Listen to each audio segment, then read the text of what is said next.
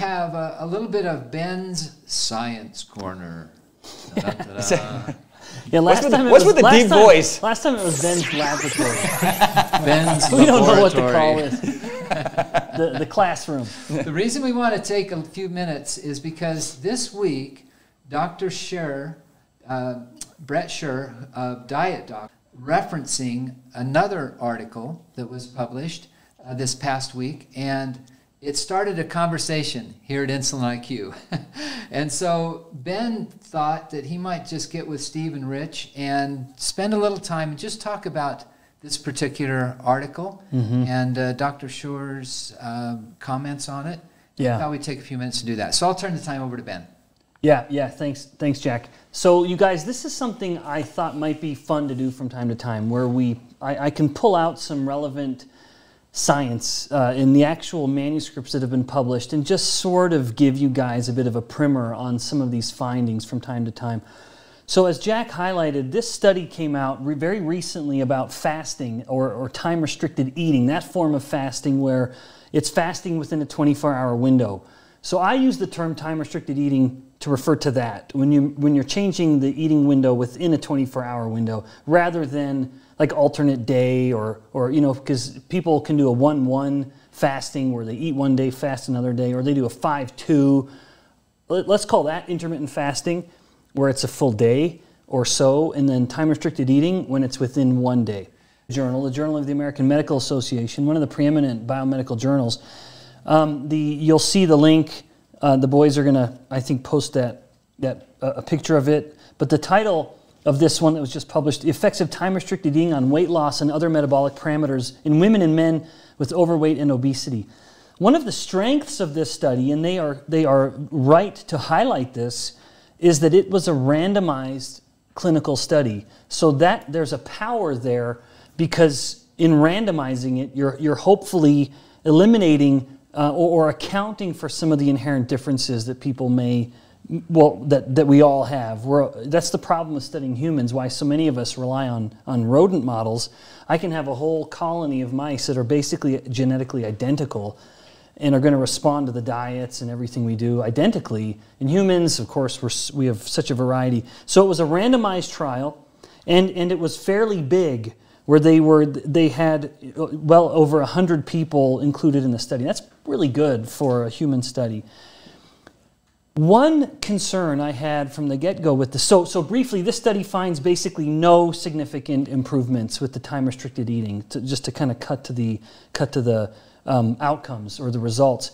They found that there was a significant reduction in weight in the time-restricted eating group, but also a significant reduction in lean mass. In fact, it was a shocking uh, amount. I think 65% of the weight lost was considered from lean mass. And that, I say shocking because it is a very high degree of lean mass loss. It also is a lean mass loss that is not seen in any other study of, of fasting, to my knowledge. So that was a bit of an, uh, a shocking finding and a bit of an anomaly. Now, some people I've seen in social media are citing that one finding as reason to avoid time restricted eating because they want to get big with muscle mass gains or they want to maintain muscle mass gains. I would simply try to alleviate that concern by saying that is not a finding seen in other studies. So the degree to which that is, is real, and I'm not accusing this, the authors of this manuscript in any way of dishonesty. No, it could just be an artifact. It's something that's come up and it's just an anomaly. Or there were a couple people that had a very high response and the rest didn't at all. So whether that's a real worry or not, um, I don't think it is just because it's not been shown in other studies. But that's one of the key takeaways from this sort of negative study, if we want to call it that. Um, there was a significant body mass reduction, but it was not because of a fat loss based on how they measured this. It was because of a lean, a lean mass loss. Now, one other problem with this recently published study, this randomized trial, um, people were reluctant, it seems, to be randomized into the time restricted eating group, into that fasting group. And I say that they were reluctant to get into that group because in the results, they report something called lost to follow up. So people who committed to study, uh, once they were randomized into the two groups, um, and we'll emphasize another problem with those two groups in a moment. The people that were randomized into the time restricted eating group, they uh, uh, seven of them were lost to follow up. So they were put into the group and then they didn't want to do anything to do with it, and they, then the researchers couldn't contact them again. Seven people were lost from the fasting group, only one was lost from the control group. So there's something I think about people very reluctantly being put into the fasting group and they didn't want to. Now, with that point in mind, I'll emphasize the second study that was published earlier this year that found um, legion of benefits. Every outcome they looked at with time restricted eating, they got better. Um, whether it was fat loss, blood pressure loss, um, blood lipid improvements, insulin improvements, glucose improvements.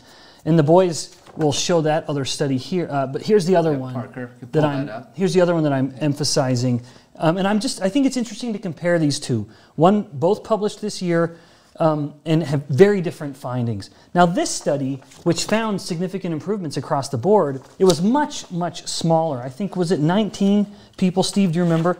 I think it was 19 subjects, but they all were they all self-selected in. So this is basically a case study where they had 19 patients who wanted to engage in time restricted eating. I think there's something powerful to that where this group of people in the positive results study they wanted to do time restricted eating. They self selected, they volunteered, they wanted to do it, as opposed to the group that I believe apparently were very reluctant insofar as the loss to follow up was seven times higher. And Ben, weren't they just showing they were not on a specific dietary restrictive? They were just eating whatever they wanted to eat, right? They Yep. weren't eating an insulin-controlled diet or a ketogenic diet of any kind.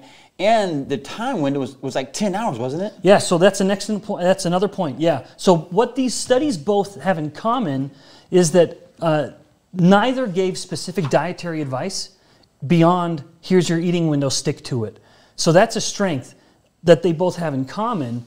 uh, But it's a weakness that we would all agree to. If you're going to encourage someone to time restricted eat, to time restricted eating or fasting, I think you really ought to be playing with that other lever which is arguably at least as relevant, which is manipulate, manage your macronutrients in a way that if much of the power of time restricted eating and fasting is that you lower your insulin, imagine if you can couple the insulin lowering effect of fasting or time restricted eating with the insulin lowering effect of controlling carbohydrates, prioritizing protein, and fill with fat.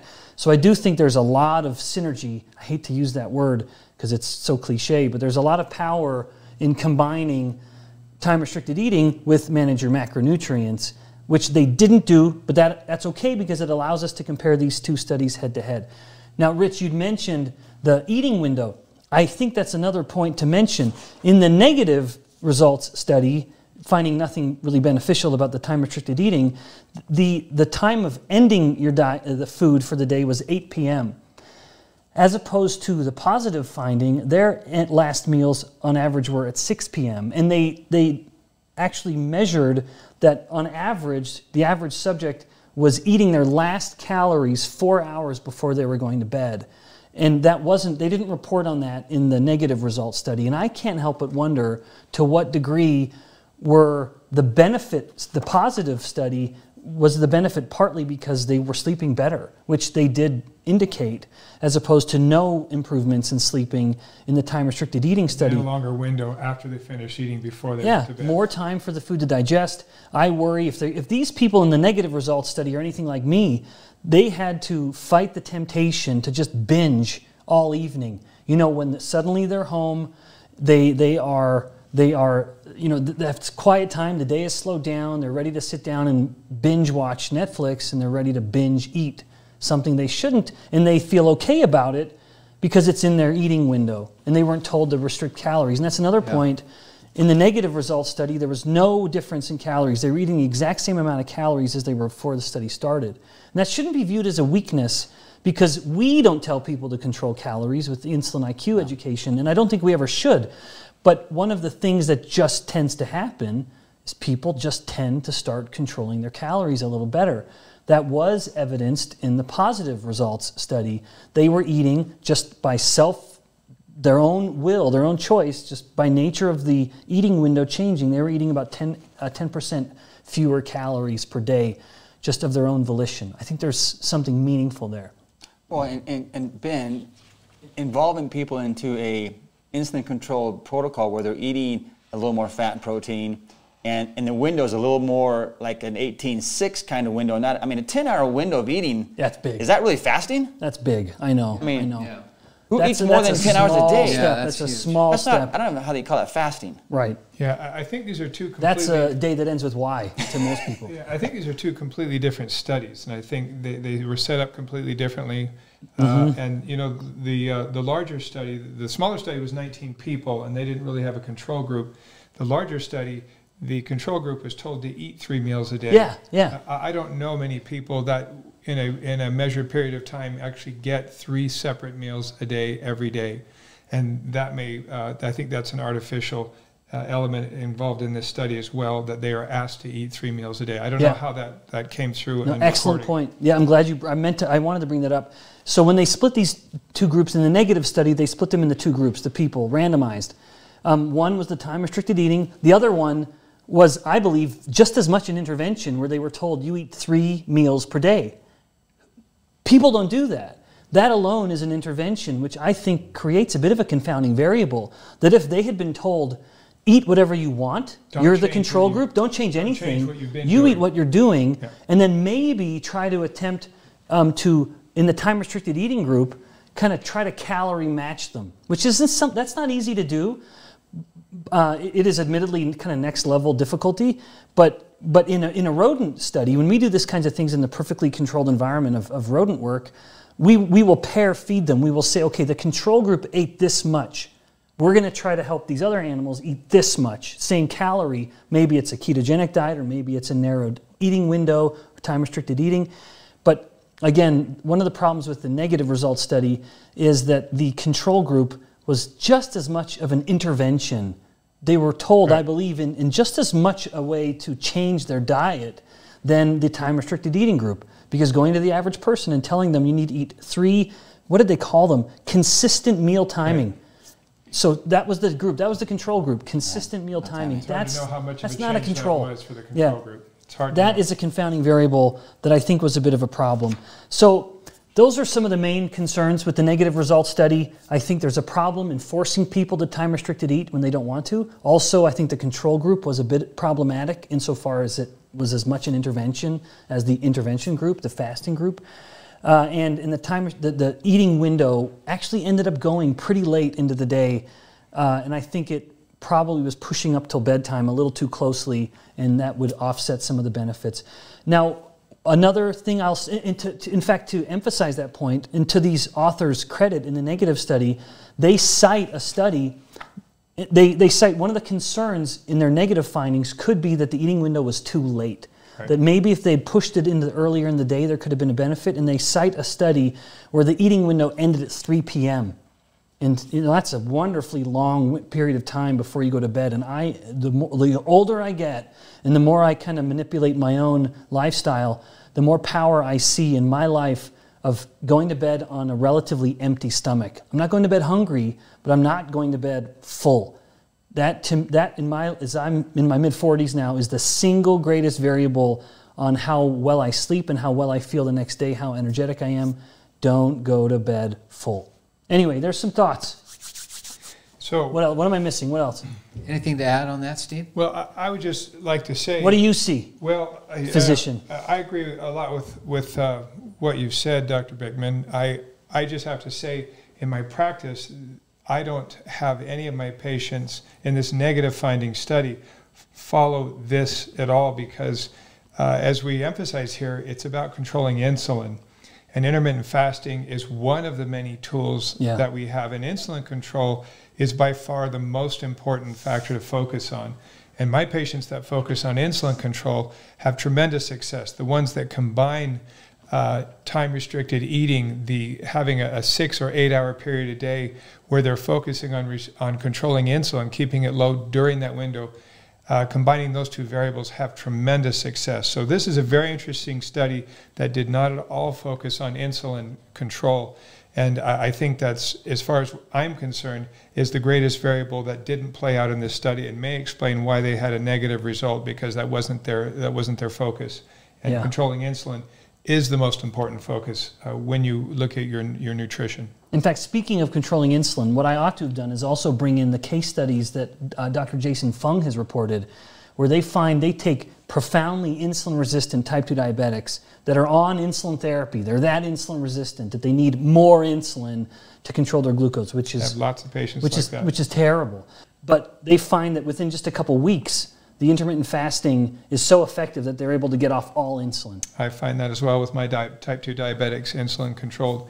Yeah, within two weeks, 20 years on insulin, they're off. That's see, that's crazy. And the ben, power and- of and Ben and. Steve, we're also talking about behavior here, where, where if somebody has the will and the ability to fast, it's just they have, they're so much more intuitive around their eating patterns when they're fasting. Yep. They, they can feel when they're hungry. They're not saying, "Hey, I got to eat," you know, at eight and at ten and at twelve, and they're starting to be way more intuitive around their behavior Yeah, around, yeah, around uh, food. I just don't want them to get discouraged. If you Yeah, have just same. I agree. discovered this intermittent fasting tool, remember it's a tool and you have to apply it to your lifestyle and what works best for you. I think it's more important that you're intuitive about your nutrition and that you don't make yourself suffer because you're much more likely to, to not be consistent and not be successful if you are miserable with what you're doing. Uh, I enjoy the window of opportunity to eat, and I feel so much better going to bed on an emptier stomach. But boy, let me tell you, there are times once in a while after if I've worked out real hard, I'm still hungry, and I will still satisfy my hunger, even though it's a little outside the window, with my focus being insulin control. And that by far gives me the greater benefit. And for all my patients, I tell them that is your first focus is keeping your insulin low. The second one is being intuitive about your hunger. So don't get discouraged by this study. It's an interesting study, but it no way reflects how I teach my patients. Intermittent fasting is a tool, but it's not by any means the most effective way to achieve uh, health by avoiding the plagues of insulin resistance. Great. Yeah, yeah. You guys, let us know what you think. If this sort of Yeah. metabolic classroom um, manuscript discussion is uh, helpful, uh, then we'll keep doing them because there are a lot of cool studies we can get to in the future. Yeah. Yeah. And studies can be very confusing. You need several of them to understand what a real outcome is. This other study, the positive one, only had 19 participants, and they were very well controlled. And that's much more uh, similar to how I run Yeah, my yeah. practice. So I see that this positive result study is much more like I see day in and day out in my practice because it's very controlled. There's a specific purpose. The patients are well screened They're motivated. and they are motivated. Yeah. And, uh, and that's what we're here to do is to help you see the motivation. Thank you. Thanks for uh, discussing that. It, it's important that our audience know. We know our audience at Insulin IQ. We have very, very science focused folks in the community that follow every single bit of research that Dr. Bikman does. And then we have folks watching today that are on the total other end of the scale. They're just coming to this whole space. And, and some of the things are just far too deep and too technical. Our mission is to try to take the science and dissect it and work it, and, and we bash it around and spend a lot of time, but then we try to condense it down and hone it in so that we have actionable things Yeah. that Insulin IQ uh, clients and, and students can do. So, Steve, I appreciate that you kind of brought that home with, and, and you too, uh, Rich, as far as behavior. And don't be discouraged about intermittent fasting. Uh, don't think that because there is conflicting science that it we don't see a huge amount of of, um, of patients and, and students that we Yeah. help. And right? ultimately, Jack, it's n equals one. I mean, Yeah, how well it said. affects you. N Yeah. equals one. Yeah, you, you're the study. You are the study. You You are are the the study. Yeah. Yeah. so N, in fact, to be scientific, N refers to a sample size. So this study, you know, there was an N of scientific, Rich. 19. There was an N of 19 or an N of 116. N just refers to the sample size. So Rich's point is that anecdotes matter, that if you yourself are seeing a benefit, you are conducting your own study, an N of you, you're your own sample size. Great. So I said something smart? It was brilliant. brilliant. All Tell your kids. I know. Hope my kids are watching. Hope my wife's watching. We're going to transition to a few questions and